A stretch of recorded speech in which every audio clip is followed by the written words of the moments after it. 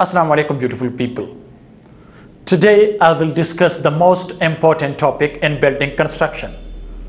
And the topic is what is spalling of concrete and its effects. And what are the causes of spalling of concrete. So this is the topic for today. Let's start guys. What is spalling of concrete? Spalling of concrete is a phenomenon where the few parts of concrete brick itself and free from the structure and expose the reinforcement or inside of concrete to atmosphere. This is called spalling of concrete, right? You can see in many building construction, okay, especially in old construction, you can see these, these things, okay? Now, what are the effects of spalling of concrete? Right? The first one. The concrete may injure the people or damage the object below. This is the risk of the people life. As you know, when a slab become spall, so the, the concrete parts are brick. So those broken parts of concrete may injure the people which are sitting below the slab okay or damage the objects okay below this is a risk of the people life. So therefore as soon as possible we should fix repair and fix this issue okay? This is the first effect. The second the corrosion of reinforcement. As you know uh, we are using what?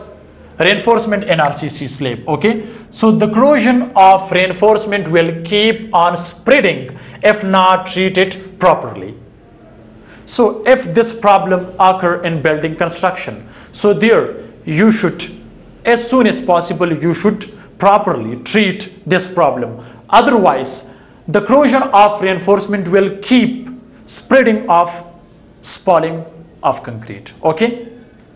Third it collapse all structure.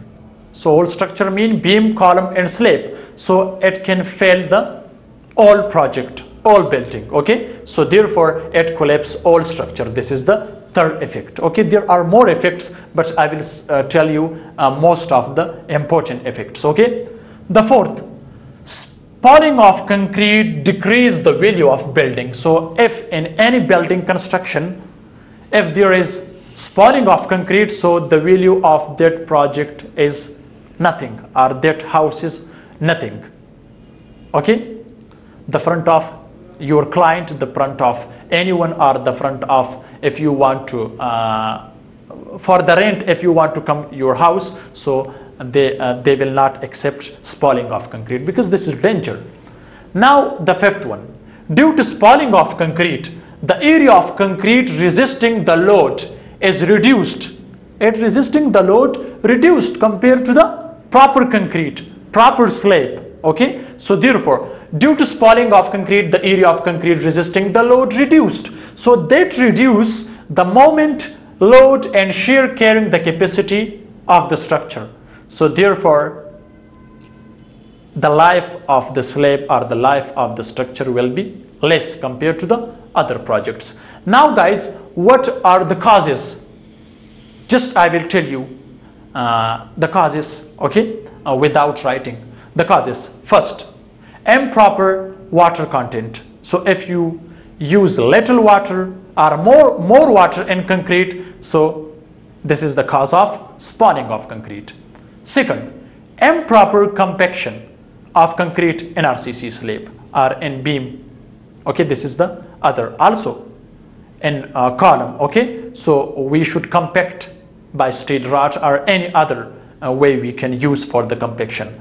The third one guys the third one is spalling of concrete. When you don't have a person for supervision on construction site this is the third. Okay? The fourth but that is the fourth one is the first. Okay? But uh, i forgot on that time. So the proper steel structure design is important. So if the ratio of the concrete is less okay according to the structure design so the spalling can be occur so this is also the improper design of steel structure is the causes of spalling. The fifth one is guys, what is the causes of spalling? Guys, when uh, you don't have any supervisor on construction site, so the labor can make more problems. They don't use the specific uh, ratio of the uh, concrete. They don't use the uh, limit water in concrete, so they don't vibrate. They don't compact so this is also the causes of supervision. If you don't keep any supervisor for building construction according to steel structure design, according to the civil engineering principles, etc. So you will face the spalling in concrete. So guys, this is the topic which I've discussed the front of you. What is spalling of concrete? What are the effects in spalling of concrete? What are the causes of spalling of concrete? And the last one, how we can treat the spalling, how we can repair and how we can uh, treat properly the spalling, spalling of concrete in slab or in any building construction. So see you in next video. So if you have any question about this video, so you can comments. I will try to reply your answer. Thanks for watching. See you in next video.